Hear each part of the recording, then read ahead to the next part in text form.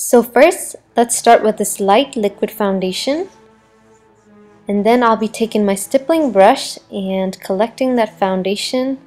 I'm slowly going to stipple that all over the face.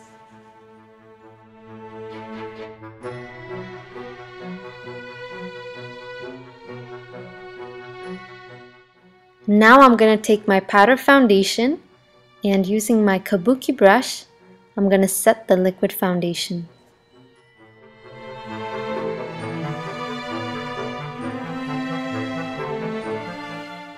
Let's move on to the contouring. For contouring, I'm going to take this brown contouring powder.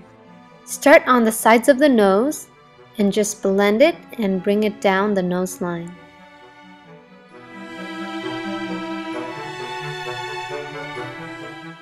Sweep under your lower eyes as well.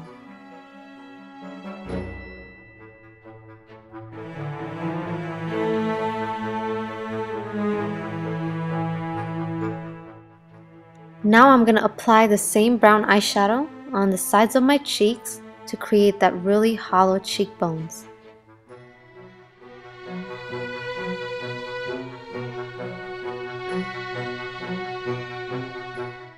Feel free to use your kabuki brush to soften up your contouring.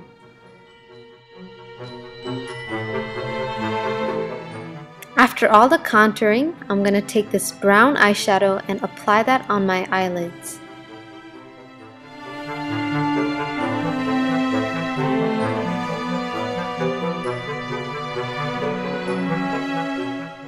Take the same eyeshadow in a smaller brush and sweep that on your lower lash line.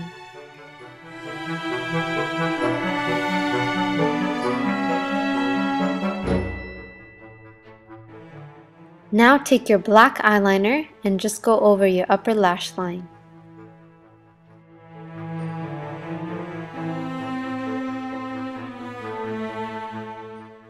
Then I'll be taking this black mascara and sweeping that on my upper and lower lashes.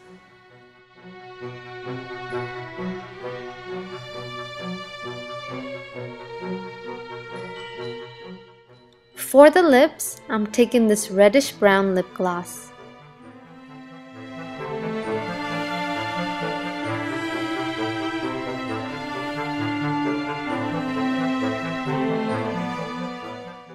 As for the hair, I'm going to part most of it to the right side. Tease it and make the hair look as big as possible.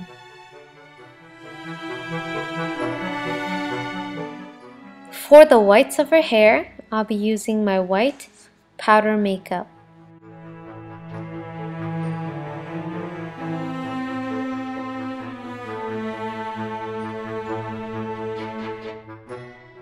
And don't forget the small pendant and the long black sleeves to complete the look.